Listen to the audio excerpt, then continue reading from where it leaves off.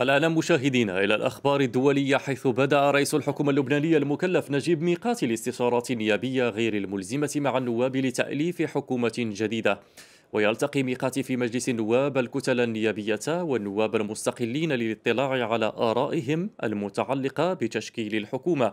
وكلف ميقاتي بتأليف حكومة جديدة بناء على نتيجة الاستشارات النيابية حيث حصل على 54 صوتا من أصوات النواب